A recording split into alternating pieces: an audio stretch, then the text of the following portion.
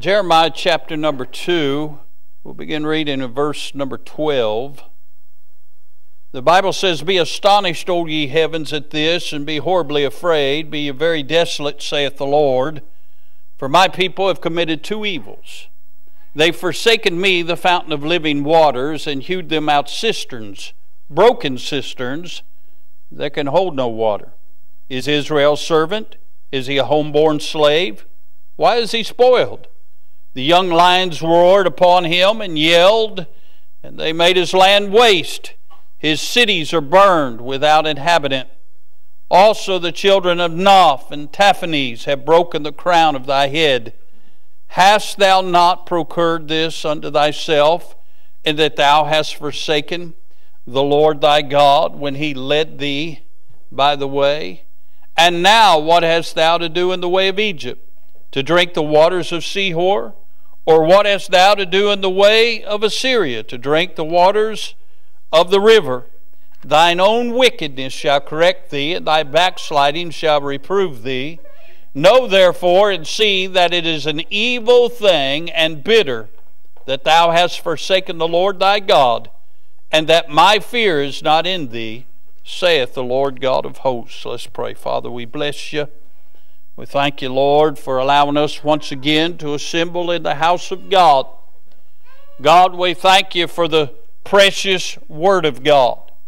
We thank you for your church. Lord, we're, we're so thankful that you loved the church and gave yourself for it.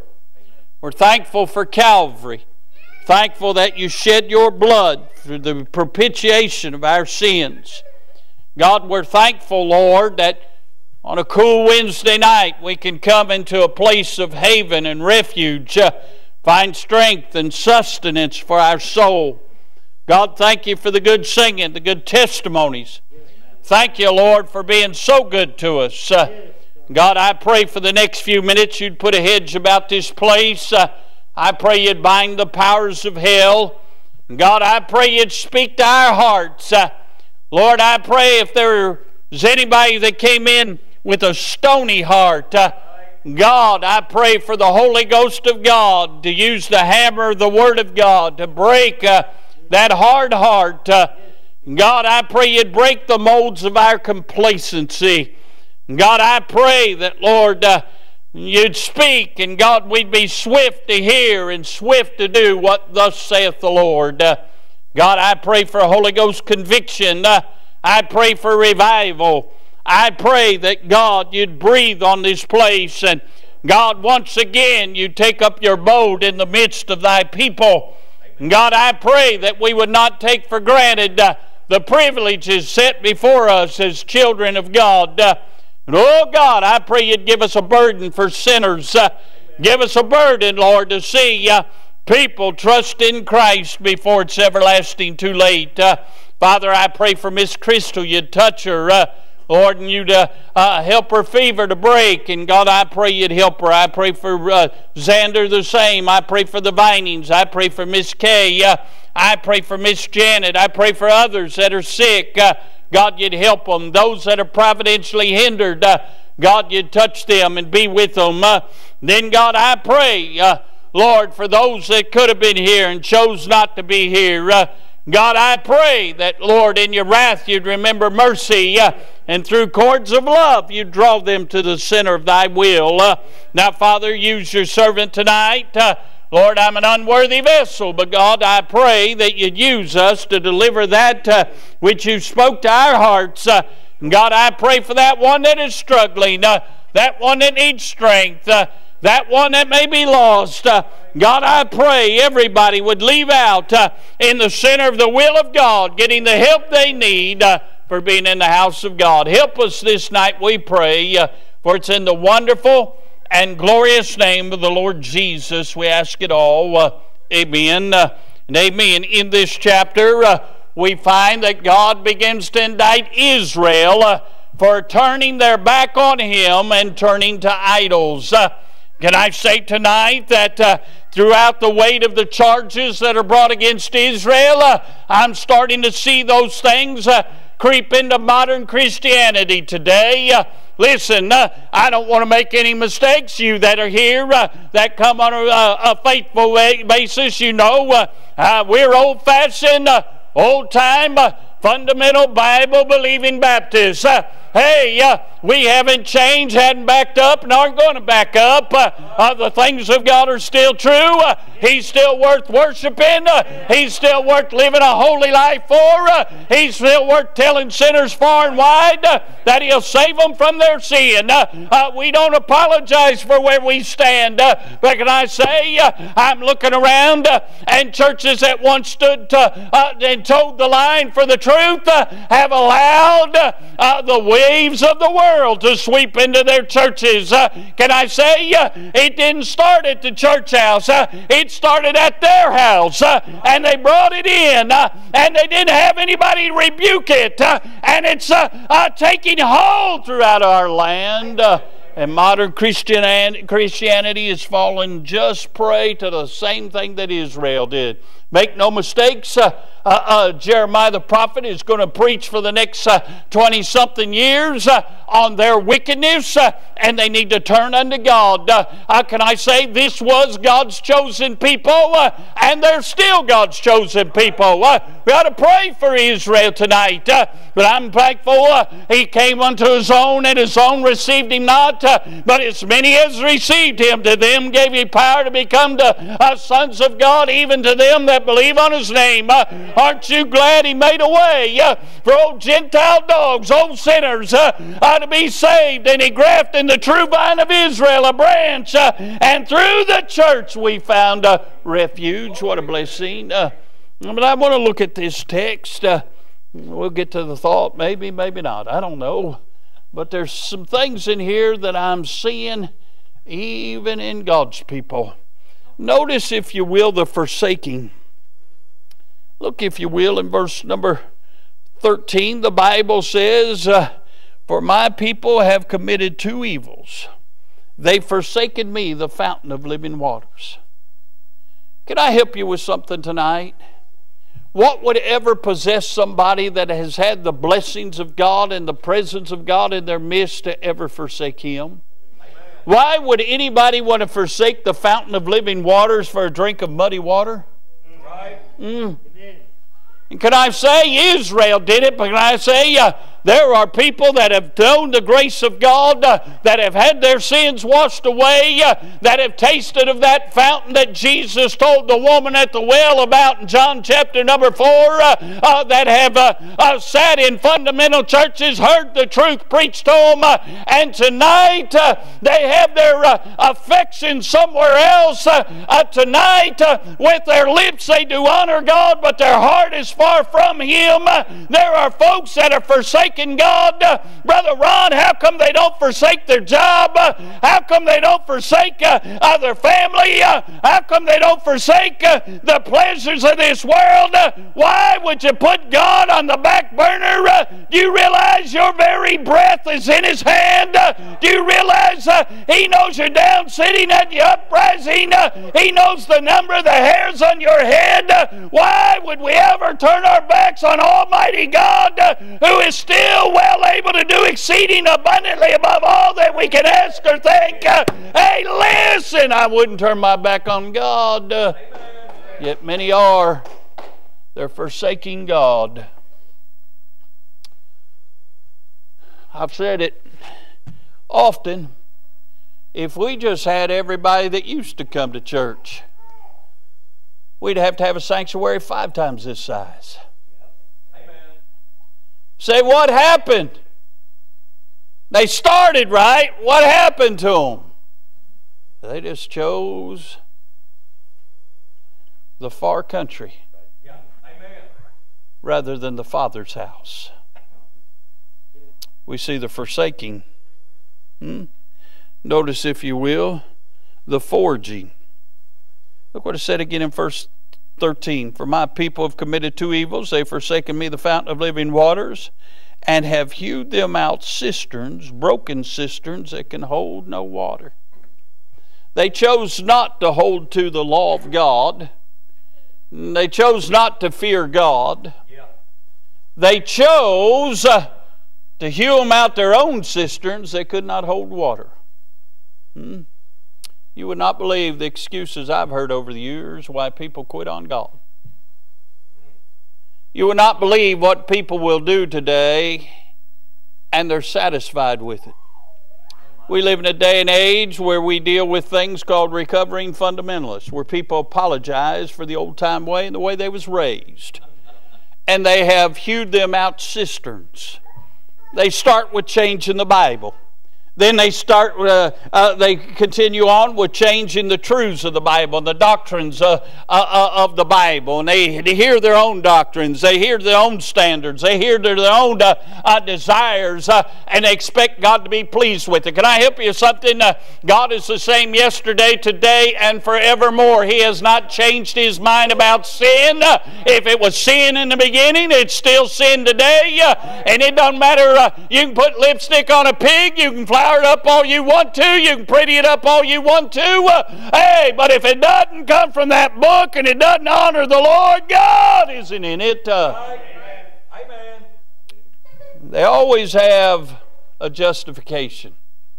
Well, we want to reach more lost people. Well, they can get out and knock on doors. Yeah. Well, we we uh, we want to re- reach the young people. Well, preach to them. Don't bring in fog machines and rock bands and all that. If it looks like the world's of the world, uh, right. they forged them out their own cisterns.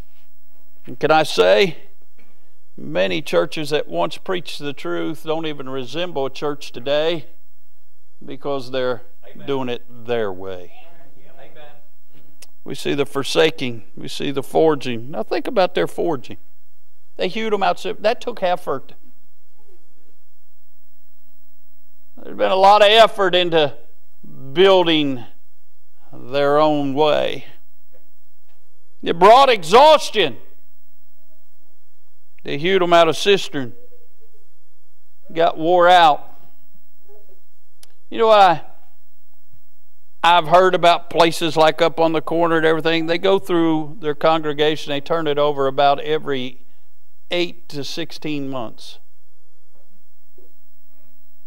Because if you don't have something driven by the Holy Ghost and the Word of God, it, it will not sustain you.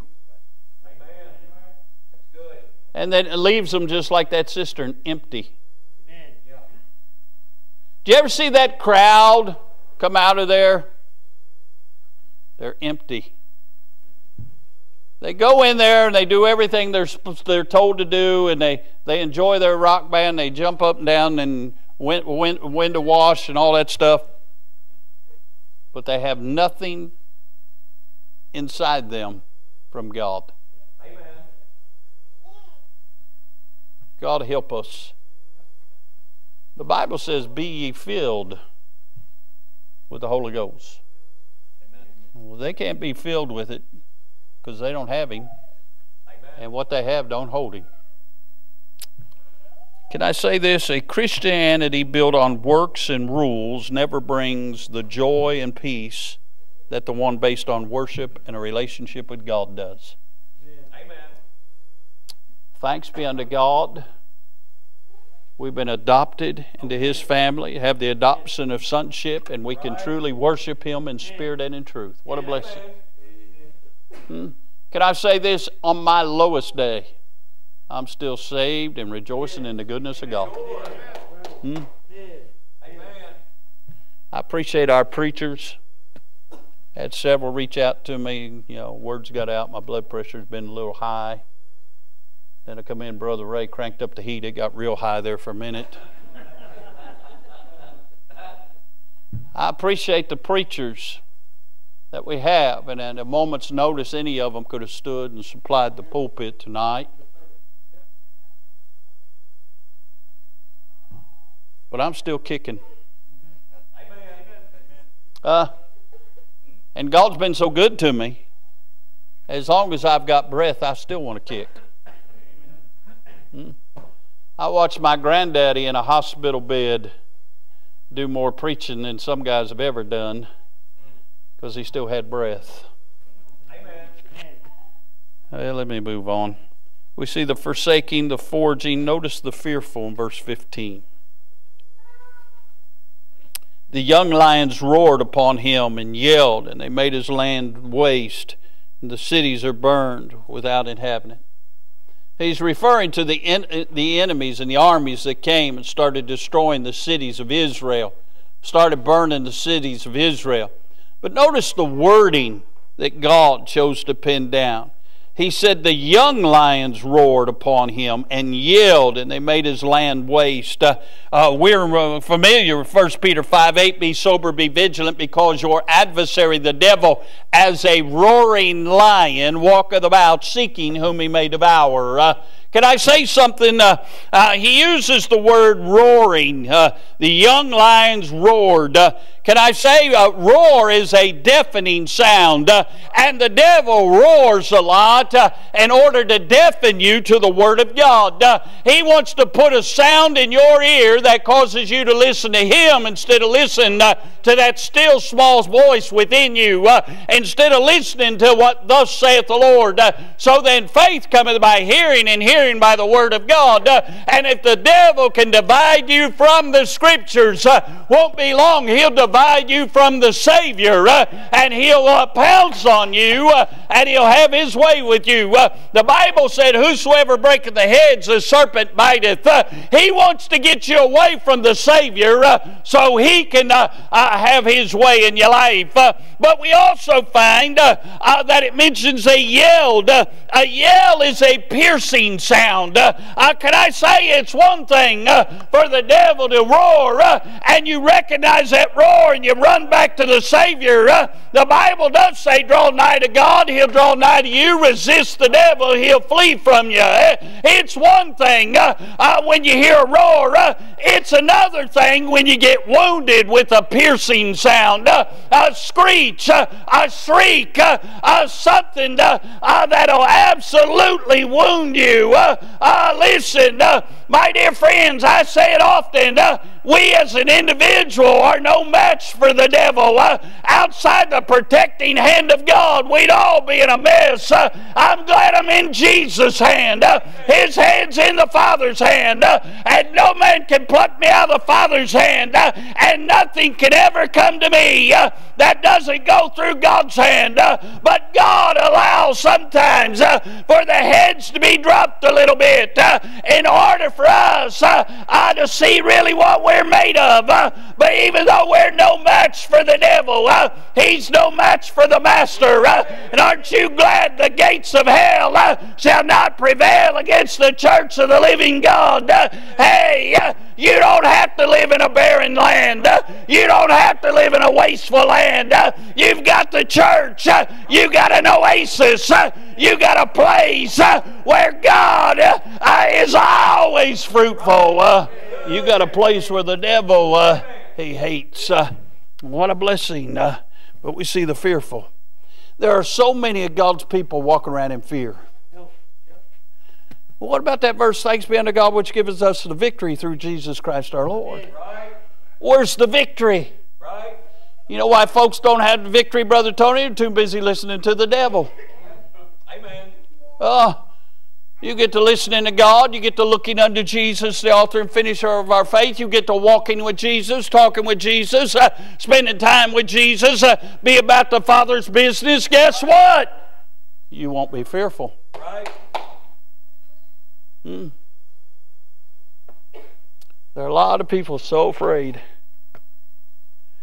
They don't have to be afraid. They need to learn to rest in Jesus. Therefore, it, there remaineth therefore a rest to the people of God. Hebrews 4 9. That rest is found in Jesus. If you can ever learn to just lean on his bosom like John did. You get to where you hear the heartbeat of God, you won't fear anything the devil says to you. Amen. Then notice, if you will, the fallen. Uh, look with me in verse number 16. Also, the children of Noph and Tahaphanes have broken the crown of thy head. Uh, can I say, uh, Noph was a city. It's also known in those days as Memphis. We would know it today as Cairo. Cairo said that Noph, the children of Noph and Tahaphanes have broken the crown of thy head. Tahaphanes uh, was named after an Egyptian goddess named Tefnut.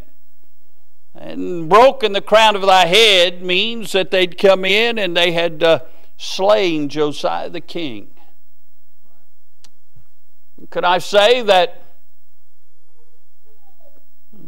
these are Egyptian cities? Egypt's always a picture of the world.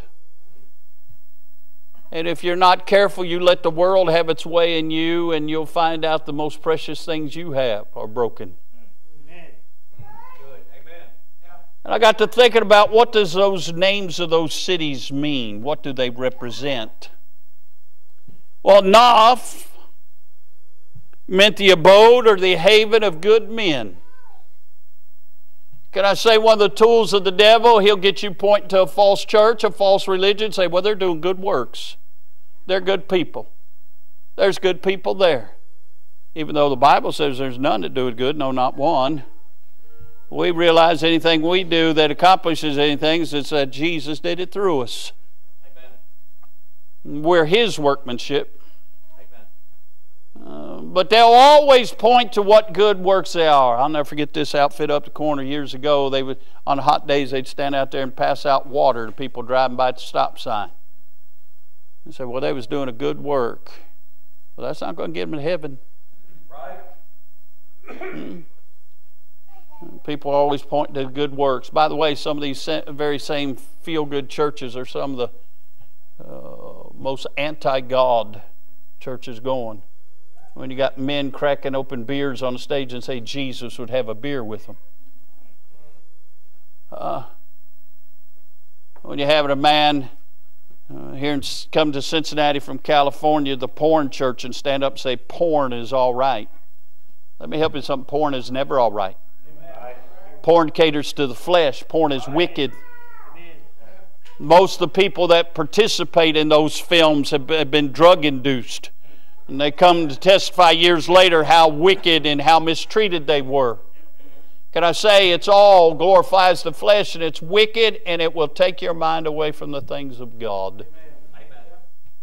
Amen. Brother Jim told me one here. The Methodist Church was boasting here. United Methodist Church was just boasting here in the last few weeks. Come and have a beer with a queer. Oh, they embrace all that pride stuff. God resisted the proud, but gives grace to the humble. Uh, they're called churches. And when they stand and say, We serve the same God, no, we do not. And when Jesus comes in John uh, in Revelation 19, literally back to his second coming to this earth, when we come back with him on them white horses, uh, he's coming back in the fierce and wrath and indignation of Almighty God. Uh, he's come to judge that crowd, my dear friends. Listen. Verse 17, we find where the fault lied. He said, Hast thou not procured this unto thyself? That word procured means secured. They secured judgment unto themselves. Can I say what's wrong in most of our churches today is we don't want to admit guilt. We don't invite the Holy Ghost to come and convict folks of sin anymore. We don't preach on sin anymore.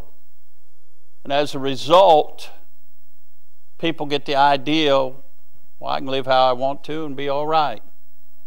That's not what the Bible teaches. The Bible says in James 4:17, "Therefore to him that knoweth to do good and doeth it not, to him it is sin." It'd be a great day in our churches when we start becoming accountable. Amen. And we say, Lord, revival hasn't come because of me.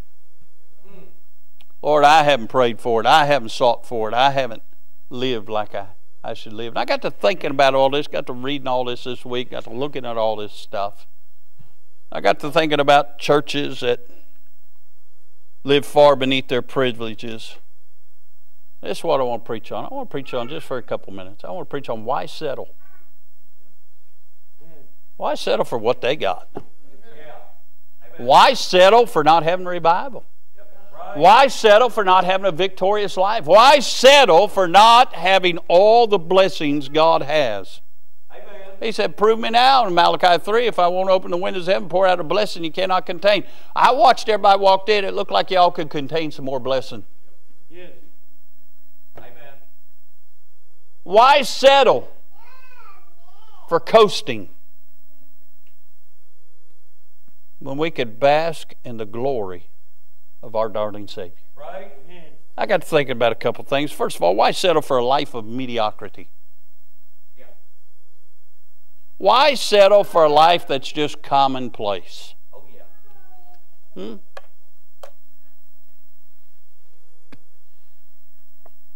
When you was growing up, did you ever set your bar for you know? You remember how teachers used to teach you know what do you want to be when you grow up, and kids would say a fireman or a policeman or an astronaut or a doctor or a lawyer. Did you ever say, well, oh, I just want to be regular.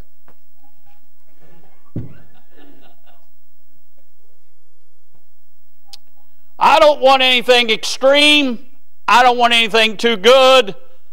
You know, I want to have the medium looking house on, on the block. I settle for that. We walk our, our, our dog in our neighborhood. There's part of our neighborhood. I'm, I'm proud to live there. Then there's other part of the neighborhood. Looks like Herman Munster lives there. You know what I'm saying? Huh? I really, I mean, there's one house. It's scary. I think there's corpses inside. I'm not kidding you. It's a scary place. I'm expecting Uncle Fester to walk out anytime. I mean, it's scary. We don't walk past it. We kind of stroll real quickly past that house. You know what I'm saying? And the house right next to it used to look just as bad. And they come in, they slap some paint on it, and I thought, man, they're cleaning this place up and everything. They put it up for sale for $360,000, 360,000, and they didn't do one thing on the inside. We looked it up and said, oh, man, they must have made this place. 360 I'm thinking people are stupid. 360000 and you're living next to the monsters. Shh. Huh? Why settle for mediocrity? Amen. Why settle for just being right there at the bar? Right. Uh, my in-laws pastor he, I've, I've been at several weddings and he always says this he said he always says i've never seen an ugly bride i've seen a few just come in right over the scale but i've never seen an ugly one you know what i'm saying why just settle for that why settle for just coming to church? Why don't we have church? Right uh, I shouldn't even got to preach tonight. You should have come in and say, "Boy, the Lord's been good to me. Uh, he's blessed my life. He saved me. Uh, uh, uh he's uh, met every need. Uh, uh, uh, boy, He's helped me this week from the Scriptures. he just put a song in my heart, a spring in my step. God's been good. I have no complaints. even if you've had a bad week, it could have been a whole lot worse. You're not in a nursing home tonight. you don't live down there where the flood took your house away. I, I, mean, God's been good to you. Could at least said, you know what, I've had a bad week. Uh, really haven't been all, all I should be, uh, but He's been everything He said He would be. I mean, everybody could have come in and had something to say tonight. But we're comfortable with a life of mediocrity. Yep. Amen. Hmm. Why settle for that? Huh? I thought about this. Why settle for a life that's mundane? You know what mundane the life is? You have no goal or no vision. Hmm? No vision. People, Bible says where there is no vision, people perish.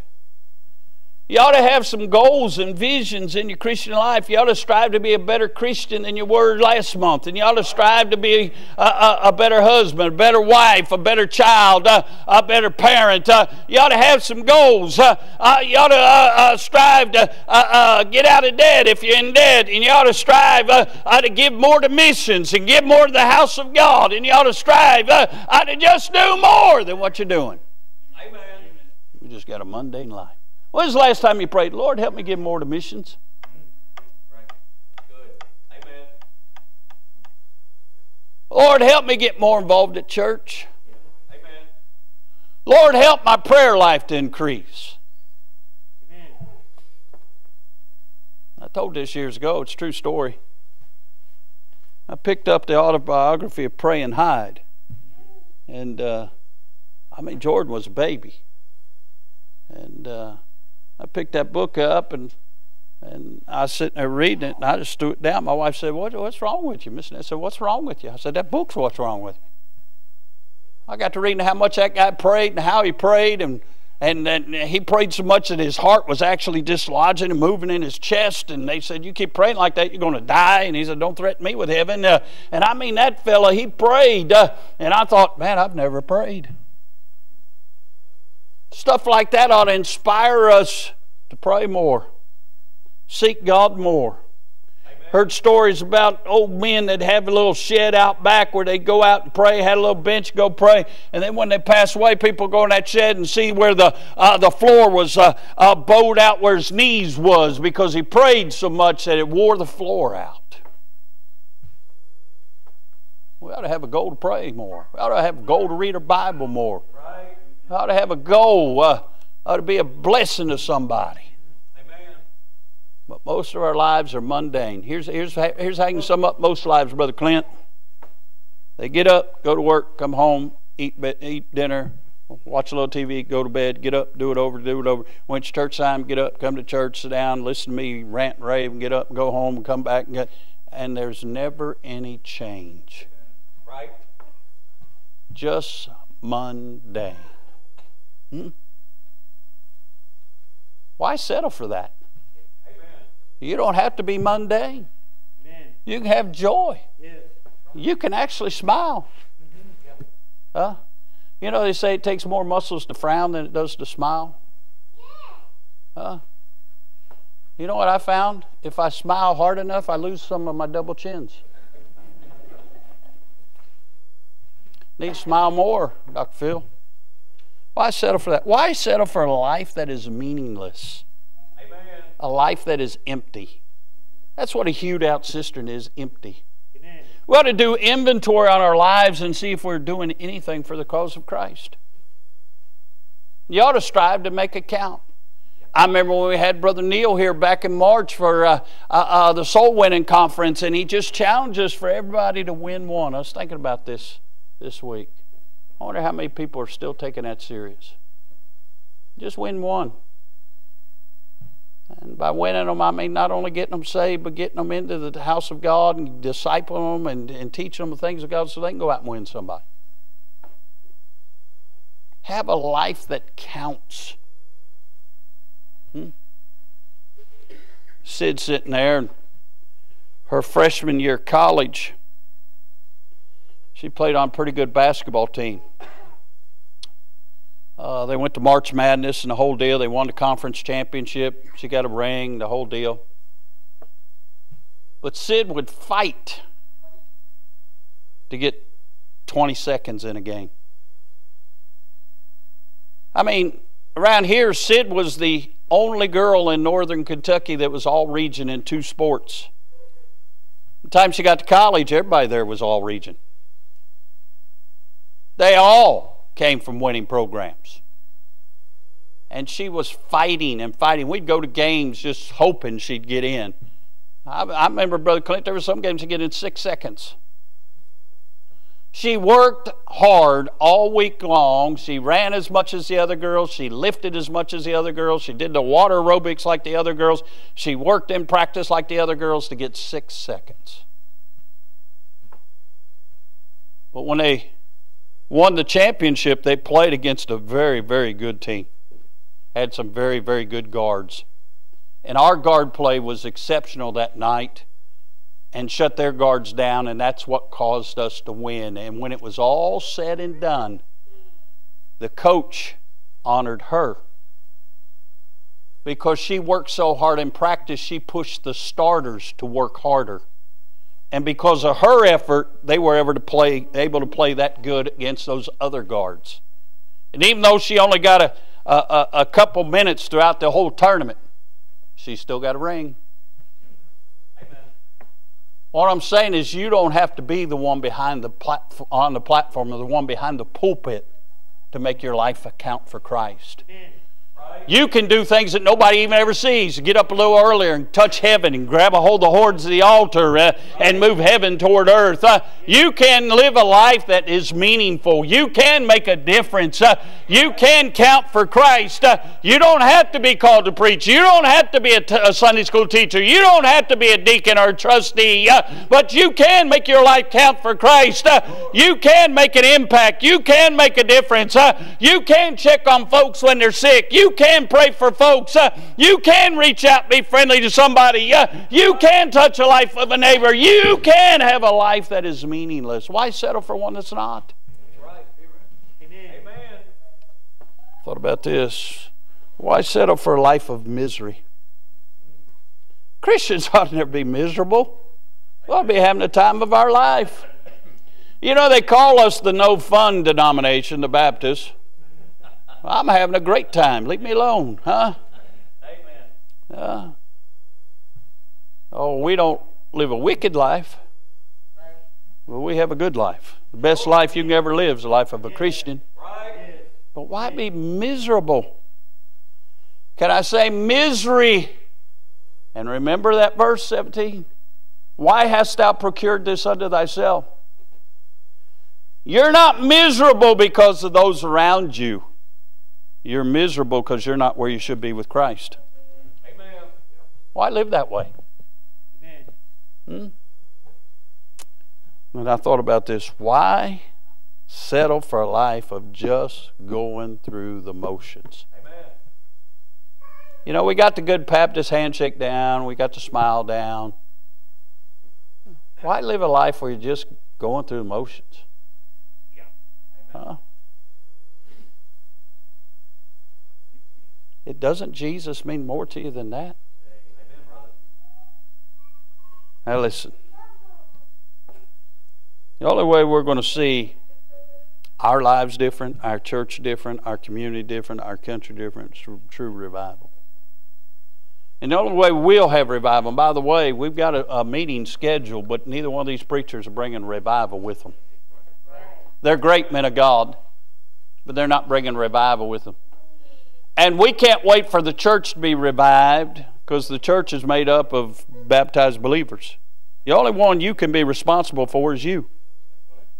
That verse again. So you ought to make up your mind. I'm going to get everything God's got for me.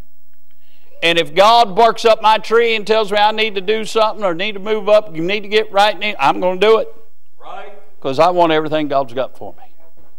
And listen, we must have a conscious effort to change. Nobody likes change, and that's why our country's in shape it's in, why church is in shape it's in. You've got to have a conscientious effort. I'm going to change. I'm going to do what God says. In other words, I'm going to repent. I'm going to turn from where I'm at to Him. Amen.